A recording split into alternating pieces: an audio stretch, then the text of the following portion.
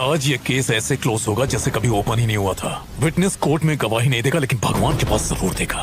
और उसके बाद नंबर आएगा तेरे बेटे।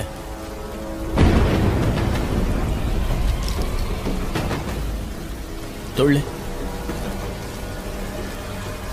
मारना।